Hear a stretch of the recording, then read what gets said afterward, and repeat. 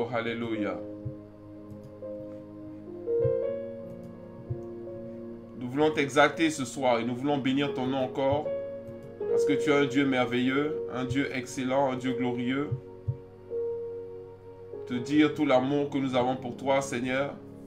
Tout l'amour que nous avons pour toi, toute la, la dévotion que nous avons pour toi, toute l'admiration que nous avons, Seigneur, devant l'acte et devant l'action que tu as accompli à la croix pour nous et après la croix, toute l'œuvre que tu as accomplie, toute l'œuvre que tu as accomplie, toute l'œuvre que tu as accomplie au nom de oh, Alléluia, toute l'œuvre que tu as accomplie. Merci Seigneur mon Dieu pour ta grâce, merci Seigneur pour ton amour manifesté. Merci Seigneur parce que chaque personne ici va recevoir sa part. Alléluia. Chaque personne ici ce soir va recevoir sa part au nom de Jésus. Au nom de Jésus. Au nom de Jésus. Rabababa Santa Rakanta Rabababa. Redekendere bosu rabashete kanta rabababa. Rebro sondoria. Rekendere masaya. Au nom de Jésus, chaque personne ici va recevoir sa part. Alléluia. car lui seul est digne.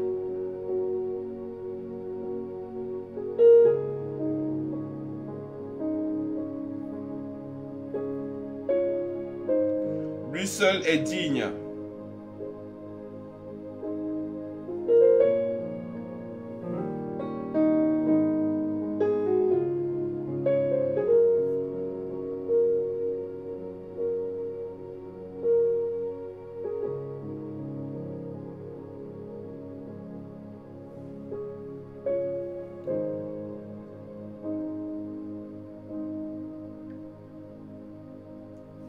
Alléluia. Merci Jésus. Ok, nous allons prendre nos Bibles dans le livre d'Apocalypse.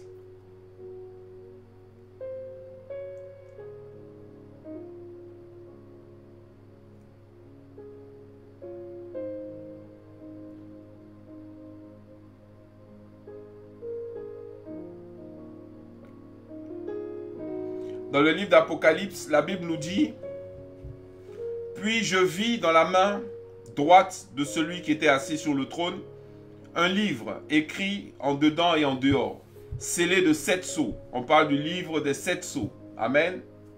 Shalom, shalom. Shalom au pasteur de la Mauritanie, le pasteur Vivek. Amen. Que Dieu vous bénisse en Mauritanie là-bas. Ok, God bless you.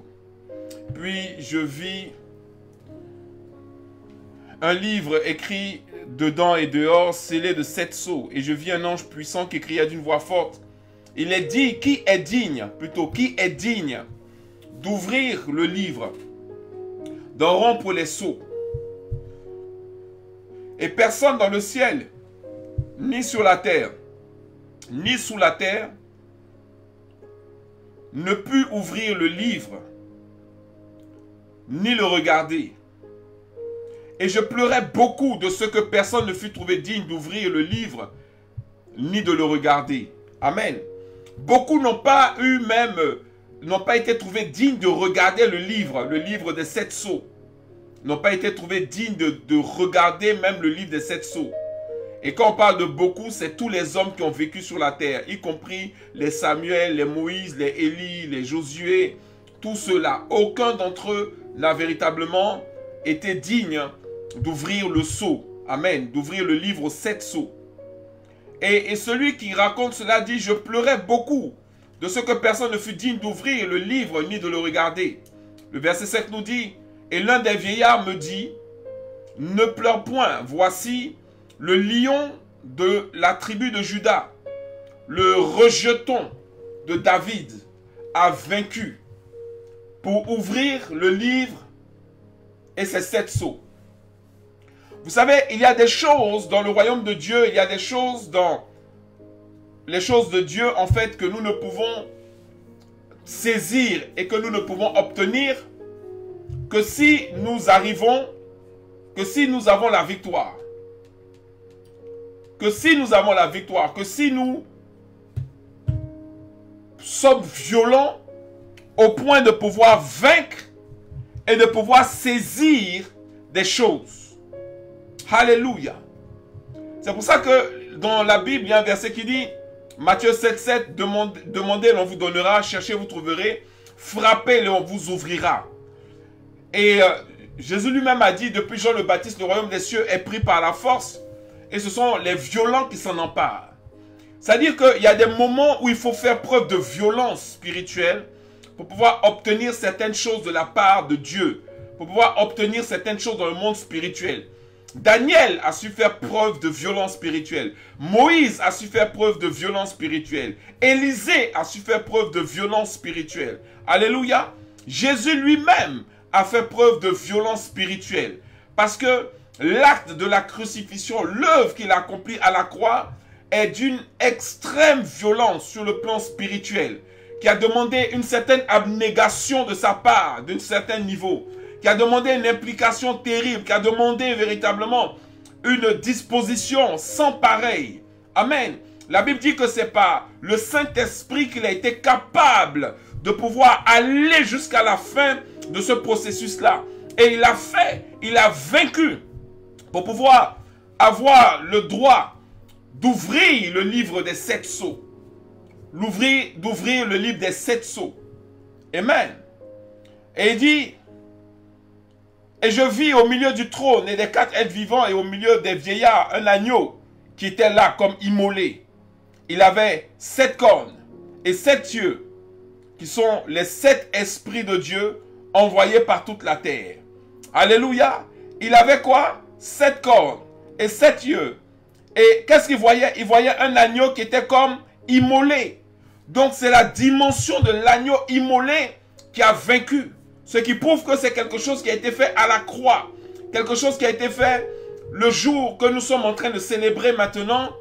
Pendant ce jour-là, pendant ce moment-là. Parce que après la crucifixion, Christ a accompli des choses. Il a réalisé des choses. Il a posé des actes. Alléluia. Et il ne les a pas posés par hasard. Il les a posés pour pouvoir provoquer quelque chose. Amen. Est-ce que quelqu'un peut me peut taper l'agneau immolé?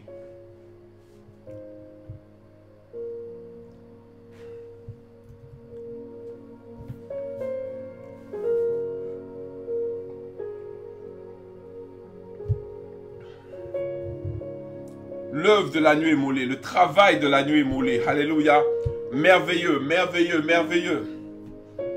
Oui, Seigneur, nous voulons bénir ton nom. Nous voulons bénir ton nom. Nous voulons exalter ton nom. Ce jour-là, tu as accompli une œuvre libératrice, une œuvre transformatrice. Et nous voulons saisir cela. Saisir cela au nom de Jésus.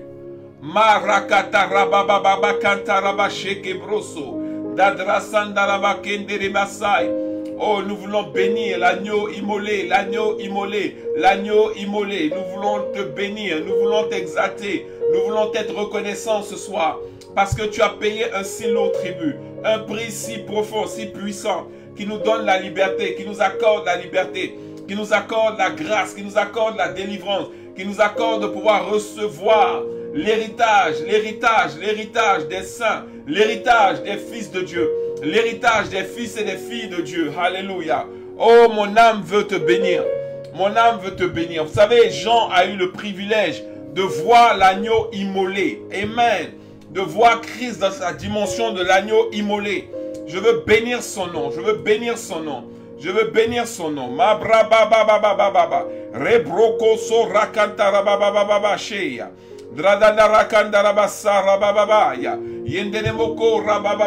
la Bible dit que les sept vieillards, les, quatre vieillards plutôt. Amen. L'un des vieillards, il dit, mon, il dit, me dit, ne pleure point, voici le lion de la tribu de Judas, le rejeton de David, a vaincu. C'est un prix qu'il a payé. Il a vaincu pour ouvrir le livre de, et ses sept sceaux. Amen. Parce que le livre a sept sceaux. Et il fallait à chaque fois retirer un seau, deux seaux, jusqu'à sept seaux. Yes. Et je vis au milieu du trône. Et des quatre êtres vivants. Donc 24 vieillards, quatre êtres vivants. Et au milieu des vieillards, un agneau qui était là comme immolé. Il avait sept cornes et, et sept yeux. Et qui sont les sept esprits de Dieu envoyés par toute la terre. Il vint. Alléluia. Il vint. Et il prit le livre de la main droite il prit le livre de la main droite, celui qui était assis sur le trône, de celui qui était assis sur le trône.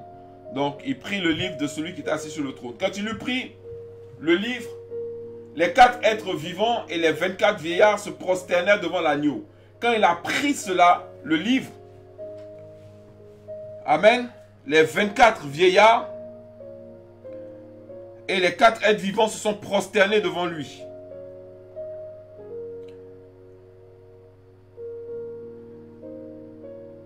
Tenant chacun une harpe et des coupes d'or remplies de parfums, qui sont les prières des saints. Et il chantait un cantique nouveau, en disant, tu es digne de prendre le livre et d'en ouvrir le seau, les seaux, les seaux. Car tu as été immolé et tu as racheté pour Dieu par ton sang des hommes de toute tribu, de toute langue, de tout peuple et de toute nation. Amen. Là, on parle de ce que Christ, que ce qu'il a accompli à la croix et ce qu'il est venu véritablement chercher, ce qu'il est venu saisir, ce qu'il est venu prendre. Amen. Et ça, c'est ce qui s'est passé entre le moment où il est crucifié et le moment où véritablement il, ressuscite. Il y a quelque chose qui se passe entre temps. Amen. Et il dit, et tu as racheté pour Dieu par ton sang des hommes de toute tribu, de toute langue, de tout peuple et de toute nation. Tu as fait d'eux un royaume et des sacrificateurs pour notre Dieu et ils régneront sur la terre. Ils feront quoi? Ils régneront sur la terre. Il allait obtenir la victoire qui nous permet de régner sur la terre. De régner sur la terre. Alléluia. Nous, régnons sur la terre. Nous sommes appelés à régner sur la terre. Nous nous avons la foi, le genre de foi qui nous appelle à régner sur la terre. Nous avons la dimension qui nous appelle et qui nous qualifie pour pouvoir régner sur la terre. Christ a payé le prix pour ça. Alléluia. Et ce sont ces promesses-là, ce sont ces promesses que nous devons saisir. Parce qu'il a payé le prix pour cela. Et dans la nuit où il a été livré, dans la nuit où il a été, euh, crucifié, Amen, il est, c'est vrai, descendu dans le séjour des morts. Et bien, il est aussi monté dans les cieux. Amen. Et il allait poser un acte qui a permis justement qu'une armée d'enfants de Dieu, une armée de chrétiens puisse se lever et voir et expérimenter la gloire du Seigneur. Et il disait donc d'une voix forte au verset 12, au verset 12, il disait d'une voix forte, l'agneau a été immolé.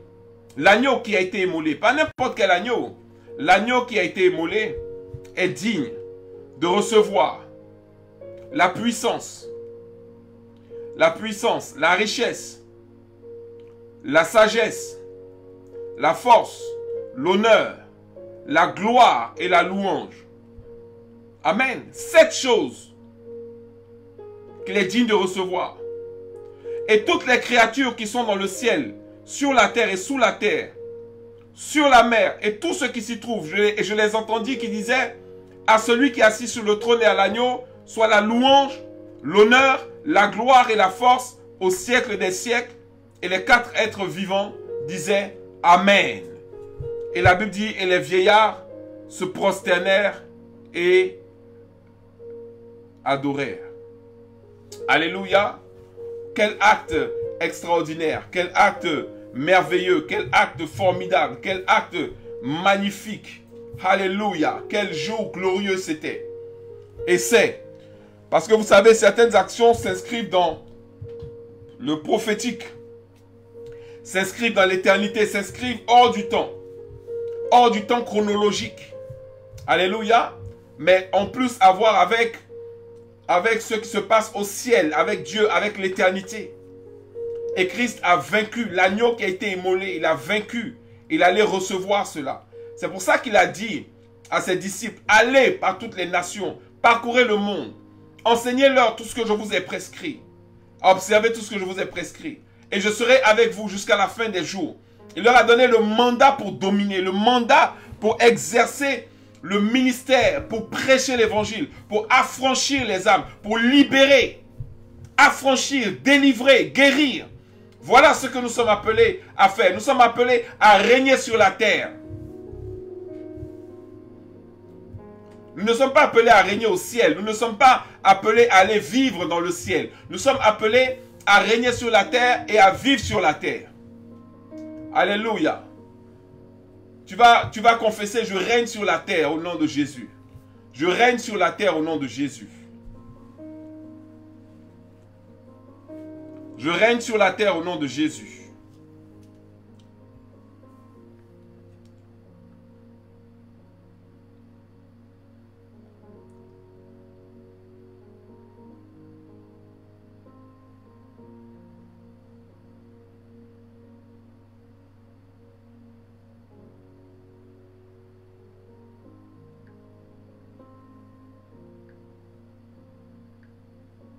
Je règne sur la terre.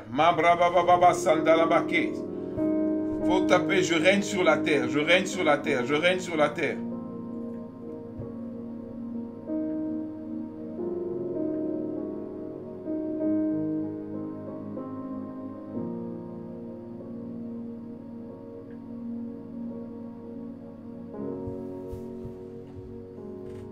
Je règne sur la terre.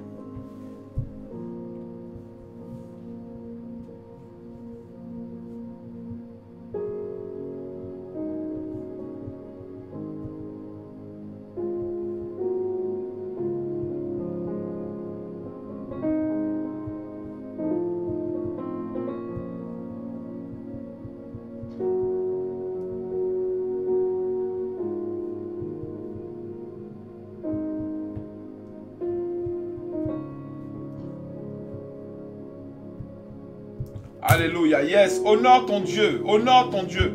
En fait, tu dois, vous savez, régner sur la terre. Régner sur la terre nous permet d'honorer le sacrifice de Christ à la croix. L'œuvre que l'agneau immolé a accompli à la croix. Ça nous permet d'honorer l'œuvre que l'agneau immolé a accompli à la croix. Alléluia. Si il fait ça et il obtient ce qu'il a obtenu et qu'il le met à ta disposition et qui te donne la possibilité de pouvoir le saisir et de pouvoir marcher avec ça, avec cela. Et que ce n'est pas le cas et que tu ne le fais pas. Tu ne marches pas dans cette dimension. Tu ne règnes pas sur la terre. Au contraire, tu rases les murs. Tu, tu n'es pas véritablement utilisé. Tu ne, tu ne, tu ne, tu n'es pas conscient de, de ce qui t'établit dans les nations, de ce qui t'établit dans le monde et que tu passes cela à côté, tu passes cela sous silence et ce genre de choses et au lieu de vaincre, tu te lamentes. Au lieu de gagner, tu pleures. Au lieu de, de réaliser, d'accomplir, au lieu de marcher dans cette victoire, tu te positionnes de manière différente de ce que Dieu t'a appelé à faire, de ce pour lequel tu te disposes. Mais c'est comme si en fait tu négligeais le sacrifice de Jésus à la croix comme si tu négligeais l'œuvre de l'agneau émolé. Et ce n'est pas le cas. Il a vaincu pour un but. Il a vaincu pour ouvrir les sept sceaux, le livre des sept sceaux. Il a vaincu pour enlever les sept sceaux de ce livre-là. Et lorsque il a, fait cela, les, les 24 viens lui ont dit, tu es digne. Alléluia. Tu es digne. L'agneau qui a été émolé, le verset 12, l'agneau qui a été émolé est digne de recevoir tu es digne de recevoir la puissance, la richesse, la sagesse, la force, l'honneur, la gloire et la louange. Alléluia. Et ces choses qu'il a pu saisir, qu'il a pu attraper, pour lesquelles il a vaincu, il les met à notre disposition, à nous qui sommes son corps, à nous qui sommes son épouse. Parce que tu donnes tout. Tu transfères tes possessions, tu, transfères tes biens, tu transfères tes victoires, tu transfères tes accomplissements et tes réalisations à celle que tu épouses. Et nous transfère la puissance, la richesse, la sagesse, la force, l'honneur, la gloire et la louange. Elles nous appartiennent. Amen. Donc vous savez que entre le moment où Christ où Jésus a été crucifié et le moment où il est ressuscité, de grandes choses se sont passées. Parce que Hébreu, et on va accélérer dessus pour pouvoir prier un peu. Dans le livre d'Hébreu, il nous relate un peu ce qui s'est passé sur la base du sacrifice, de, pas du sacrifice, mais sur la base de, de ce qui se passait dans l'adoration au temple. Amen. Vous savez qu'il y avait, bien entendu, à cette période-là, les Juifs, comme à chaque Pessah, qui célèbrent, qui célèbre le, qui immole l'agneau, qui célèbre la Pessah, hein, la Pâque juive, donc qui commémore la sortie du peuple d'Israël de l'Égypte. Et euh, ils ont une cérémonie aussi qu'ils font au dans leur tabernacle, dans le tabernacle de Moïse, qu'ils faisaient dans le tabernacle de Moïse qui par la suite a été détruit, où celui qu'on appelle le souverain sacrificateur entre chaque année, une fois par année, pour aller faire l'aspersion du sang. Et euh, Hébreu nous décrit cela très bien. Je viens de l'afficher là sur, euh, sur euh, je l'affiche là sur, le, sur la page qui dit, sur la vidéo qui dit, mais Christ est venu comme souverain sacrificateur des biens à venir. Amen. Donc Israël avait un souverain sacrificateur. Et la Bible appelle Christ le souverain sacrificateur. Il n'était pas le souverain sacrificateur selon le monde ou selon Israël, mais il était le souverain sacrificateur selon Dieu. Et donc Christ est venu comme souverain sacrificateur des biens à venir. Amen. Et il a traversé le tabernacle plus grand et plus parfait qui n'est pas construit de main d'homme, c'est-à-dire qui n'est pas de cette création. Donc il y a un tabernacle au ciel qui n'est pas de cette création et qui n'est pas construit de main d'homme.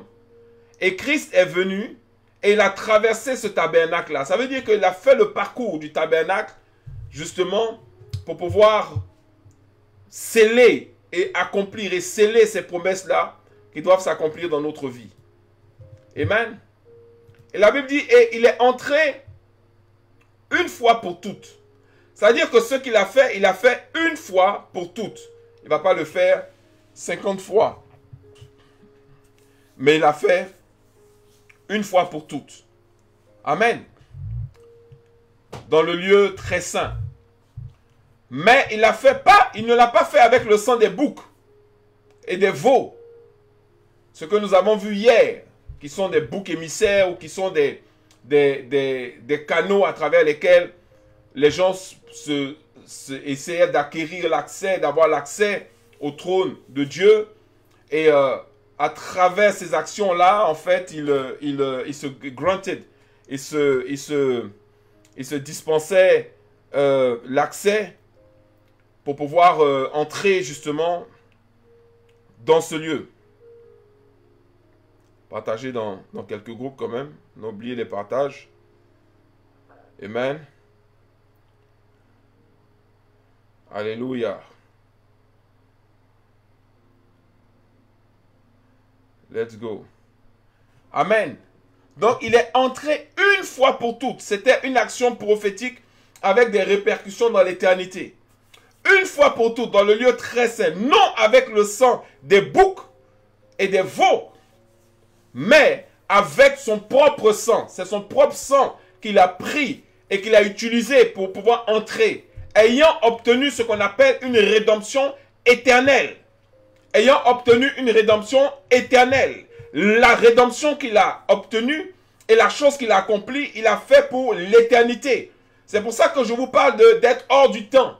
C'est pour ça que je vous dis que cette action est une action prophétique qui a des répercussions dans l'éternité. Amen. C'est un acte qu'il a posé et tout esprit puissant doit pouvoir saisir cela.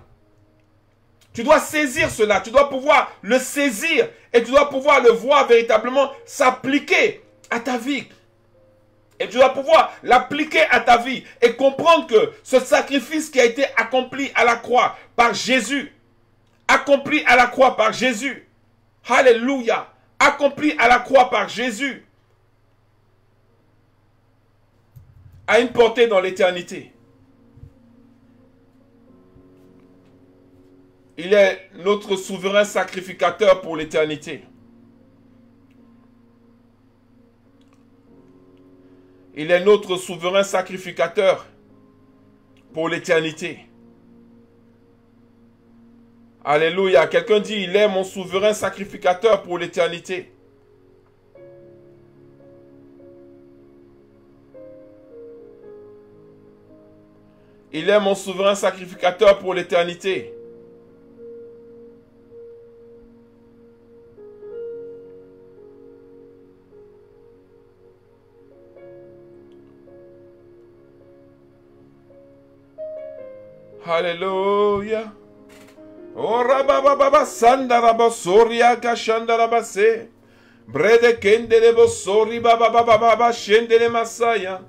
Alléluia. Il est notre souverain sacrificateur pour l'éternité. Il est mon souverain sacrificateur. Il est mon souverain sacrificateur. Jésus-Christ est mon souverain sacrificateur. C'est lui qui me représente devant le Père. C'est lui qui ouvre le chemin. C'est lui qui ouvre la porte. C'est lui qui plaide pour moi. C'est lui qui intercède pour moi. C'est lui qui obtient des choses auprès du Père pour moi. C'est lui qui prend ma place. Je suis représenté par Jésus-Christ. Il est mon avocat. Il est mon avocat. Il est celui qui me défend. Il est celui qui parle pour moi, qui plaide pour moi. Alléluia. Je n'ai reçu aucun autre nom, si ce n'est le nom de Jésus pour pouvoir m'approcher de l'éternel, pour pouvoir invoquer l'éternel. Aucun autre nom, si ce, si ce n'est le nom de Jésus. Alléluia. Mon souverain sacrificateur.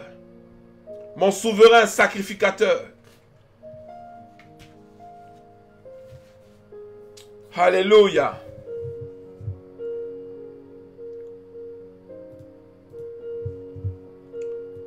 Et la Bible donc qui rajoute car si le sang des taureaux et des boucs et la cendre d'une vache répandue sur ceux qui sont souillés sanctifie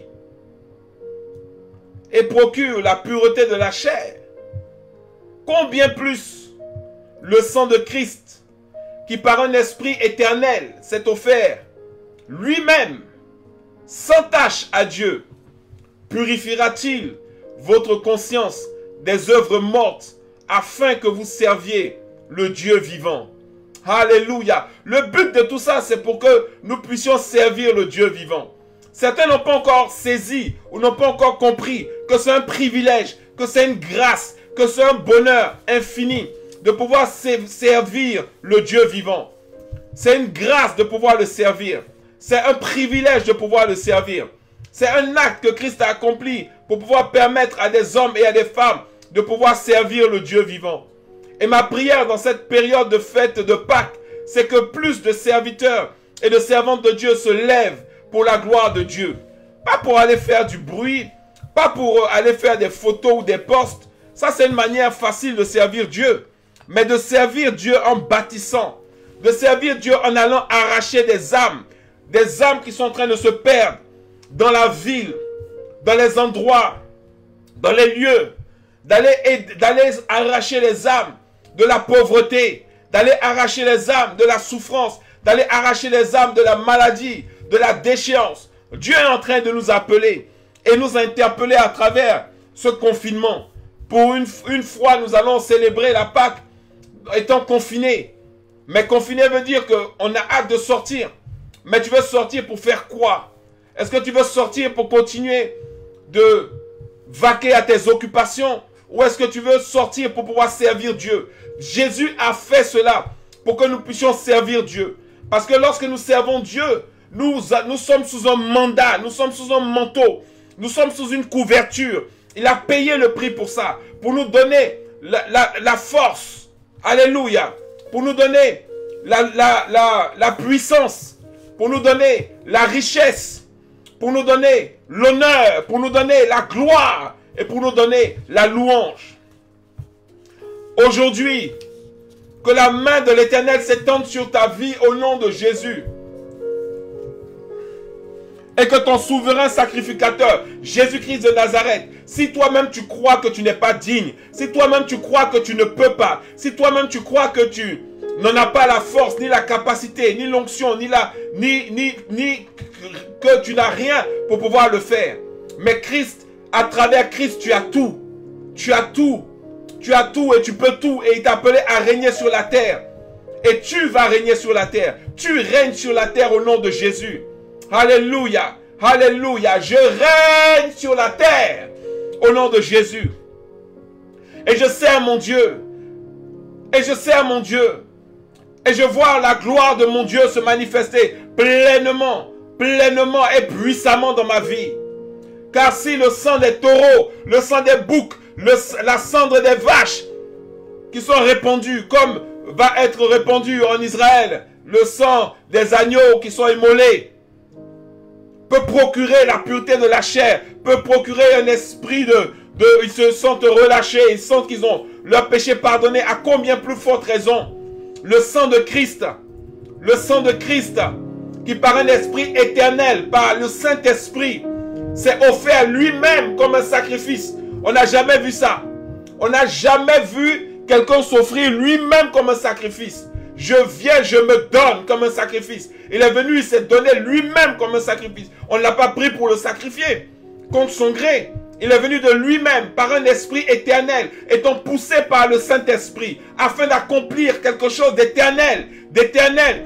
Personne ne pourra déceler cela.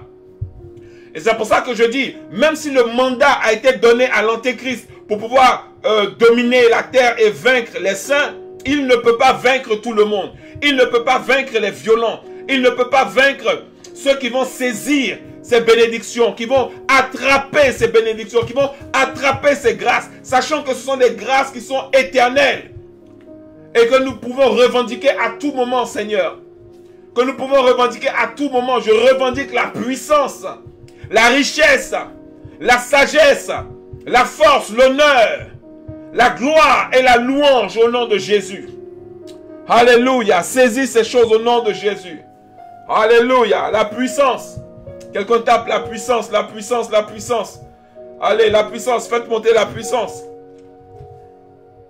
La richesse. Quelqu'un tape la richesse, la richesse, la richesse, la richesse. Alléluia. La richesse avec des likes, avec des pouces. La sagesse. Quelqu'un tape la sagesse, la sagesse, la sagesse.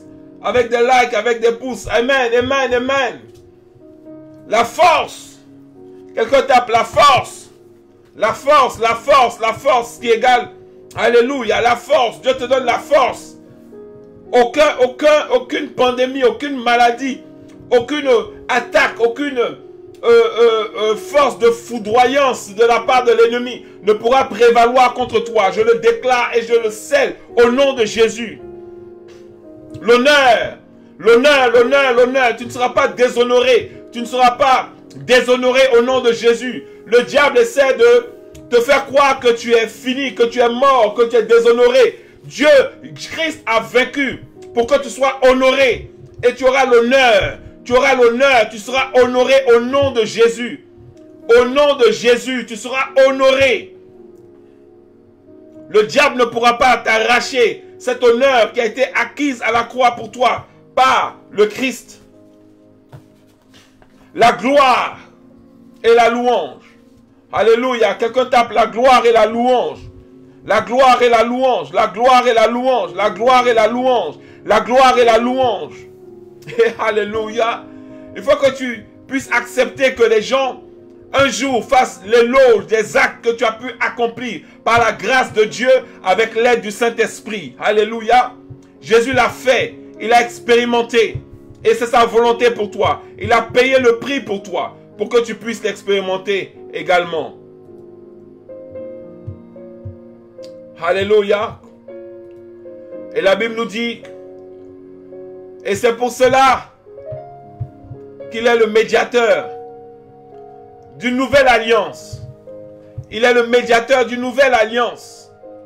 Afin que la mort étant intervenue pour le rachat des transgressions commises sous la première alliance, ceux qui ont été appelés reçoivent l'héritage éternel qui leur a été promis.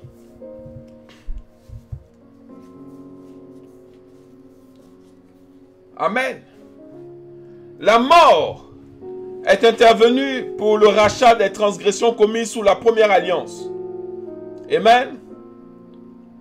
Et le Seigneur a permis, à travers son action et à travers son acte, et à travers sa crucifixion, et à travers ce qu'il a accompli lors de la Pâque, il a permis que nous puissions recevoir l'héritage éternel. L'héritage éternel qui nous a été promis. Nous avons un héritage éternel. Alléluia. Héritage éternel veut dire héritage éternel. Ça veut dire c'est un héritage qui ne va jamais finir. Tant que nous nous inscrivons dans cet, dans cet héritage-là, tant que nous reconnaissons l'action de l'agneau émolé, tant que nous demeurons véritablement dans l'obéissance à ses principes, à ses voies, tant que nous demeurons dans l'obéissance à ses œuvres, tant que nous demeurons dans ses actions, dans ses choses. Alléluia. Nous sommes et nous marchons dans l'héritage éternel. C'est ton héritage. Et c'est un héritage qui va t'accompagner tous les jours de ta vie au nom de Jésus. Alléluia. Puisses-tu les saisir maintenant au nom de Jésus? Saisis-les maintenant au nom de Jésus. Reçois-les maintenant au nom de Jésus. Reçois-les maintenant au nom de Jésus. Alléluia.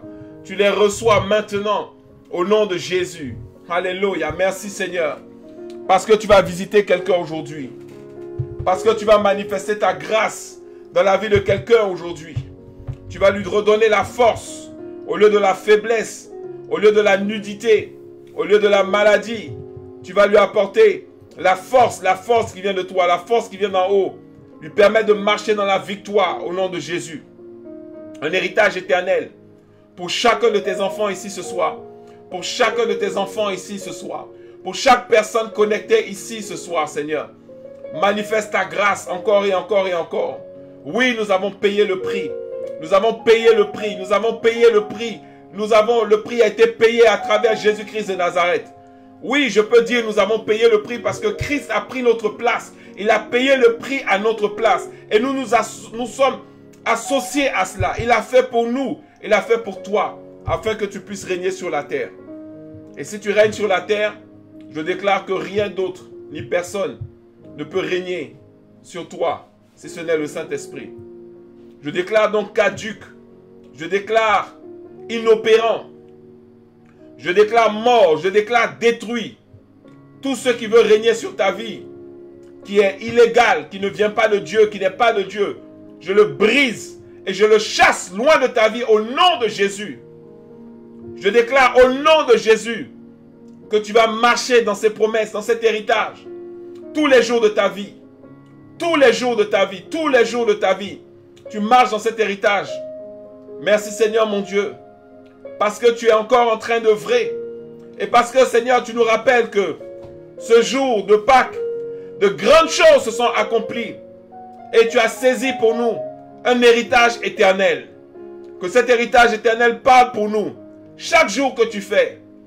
Et que Seigneur mon Dieu, tu nous donnes de pouvoir traverser ces moments d'épreuve, de pouvoir traverser ces moments de douleur, de pouvoir traverser ces moments de colère, ces moments de colère, de pouvoir les traverser, de pouvoir les traverser pleinement, pleinement, pleinement, pleinement, pleinement et puissamment au nom de Jésus, pleinement, et puissamment au nom de Jésus. Alléluia. On est à la fin de notre programme. Je prie que tu saisisses cela. Jésus a obtenu la victoire. Il est descendu, la Bible dit qu'il est descendu dans, les profondeurs de l'enfer, des ténèbres. Et il a récupéré le, les clés des séjours des morts. Les clés, il a récupéré les clés. Et ensuite, il est monté au ciel et il, a traversé le tabernacle de l'Éternel, celui qui n'est pas fait de main d'homme. Et il a accompli ce, dont on a parlé. Il a ouvert le livre des sept sceaux. Il a ouvert les sept sceaux. Et il a été jugé digne de le faire parce qu'il a bâti à l'Éternel une armée, une armée, un royaume de sacrificateurs. Nous sommes donc appelés, depuis ce jour, nous sommes les sacrificateurs de l'Éternel. Nous sommes appelés à être des sacrificateurs de l'Éternel. Tu es un sacrificateur de l'Éternel. Nous sommes des sacrificateurs de l'Éternel. Et comme son nom l'indique, sacrificateur veut dire quelqu'un qui fait des sacrifices. Nous faisons des sacrifices. Nous sommes ceux qui se sacrifient sur la terre pour que l'œuvre de Dieu puisse avancer, pour que l'œuvre de Dieu puisse prospérer, pour que l'œuvre de Dieu puisse aller de l'avant. On sacrifie notre temps, notre énergie, notre vie, tout ce qu'on est, pour que l'évangile soit prêché, pour que l'évangile soit proclamé, pour que l'œuvre, le royaume de Dieu soit bâti. On sacrifie notre énergie, notre temps, notre argent, notre travail, notre sueur, notre sang, pour que l'œuvre continue d'être faite et au lieu de donner l'honneur à ceux qui se sacrifient pour servir Dieu, les gens veulent leur servir des moqueries, des, des provocations, des insultes. Personne qui sert véritablement Dieu ne peut déshonorer un autre serviteur de Dieu. Ce n'est pas possible. Parce que tu vas savoir ce qu'il vit et ce qu'il traverse. Et aujourd'hui, je vous appelle véritablement à prendre votre position de sacrificateur de l'Éternel. Et euh, à nous concentrer sur l'œuvre de Dieu, sur le royaume de Dieu, sur les choses de Dieu. Alléluia. Car tout est permis, mais tout n'est pas utile. Aujourd'hui, nous nous rendons compte à quel point beaucoup de choses que nous faisions n'étaient pas utiles. Aujourd'hui, qu'est-ce qu'ils ont dit? Que tout ce qui n'est pas utile à la vie de la nation soit mis de côté. Mais tout ce qui n'est pas utile à l'avancée du royaume de Dieu, que cela soit mis en sourdine et que nous puissions nous concentrer sur l'œuvre de notre Père. Que Dieu bénisse abondamment. Et comme euh,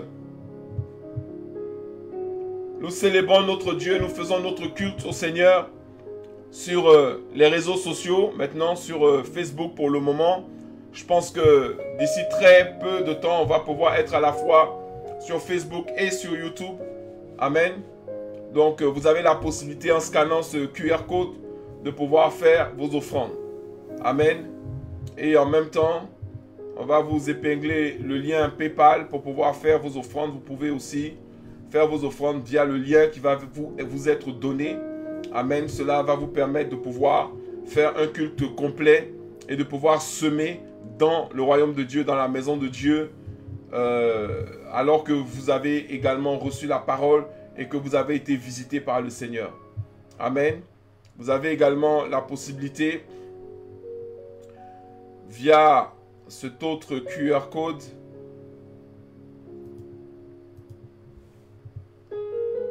de rejoindre notre groupe WhatsApp, le groupe de prière WhatsApp. C'est le premier groupe. Il est en train de, grandir énormément. Hein. Bientôt, il sera saturé, à travers lequel vous pouvez recevoir des notifications, des invitations, et euh, à travers lesquels vous pouvez aussi recevoir des instructions.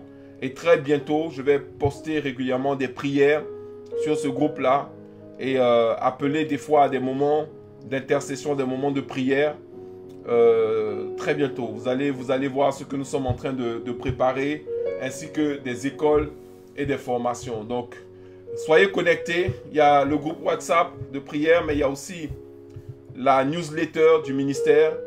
Hein, www.jemkako.org, vous allez là et ensuite vous euh, vous inscrivez à la newsletter. Vous allez recevoir aussi les emails. Mais WhatsApp est plus réactif parce que comme beaucoup utilisent WhatsApp maintenant, c'est plus réactif. Vous allez l'avoir avoir les informations rapidement sur, euh, sur, euh, sur vous. Amen. Alléluia. Voilà, que Dieu vous bénisse abondamment, que la grâce de Dieu surabonde dans votre vie. Nous bénissons le nom du Seigneur pour euh, ce moment, ce moment merveilleux, ce moment excellent, ce moment où le Seigneur véritablement nous a tellement aimés qu'il a dit qu'il ne pouvait pas nous laisser tel quel, qu'il ne pouvait pas ne pas faire quelque chose pour pouvoir nous bénir, pour pouvoir véritablement nous visiter, qu'il ne pouvait pas ne pas faire quelque chose pour ne pas nous équiper avant de nous envoyer. Et c'est pour ça qu'avant de partir, il a dit à ses disciples, attendez, vous allez recevoir la promesse du Père. Vous allez recevoir. Et une puissance va survenir sur vous. Et alors vous serez mes témoins. Il nous a donné le mandat. Ne, renonçons pas à ce mandat. Marchons, continuons de marcher dedans. Continuons d'expérimenter la puissance. Alléluia. La, sagesse. La richesse. Continuons à expérimenter la force, l'honneur, la gloire et la louange que tu en sois arrosé au nom de Jésus. Arrosé au nom de Jésus. Arrosé au nom de Jésus. Et que sa grâce surabonde dans ta vie au nom de Jésus. Merci Seigneur pour la victoire que tu nous accordes. Au nom de Jésus, pour la victoire que tu as acquise. Au nom de Jésus, nous la saisissons et nous marchons dans notre héritage éternel. Au nom de Jésus. Et nous disons, Amen, Amen, Amen, Amen, Amen, Amen, Amen. Amen, Amen, Amen, Amen, Amen, Amen, Amen. Une pluie d'amen, une pluie de like, une pluie de cœur.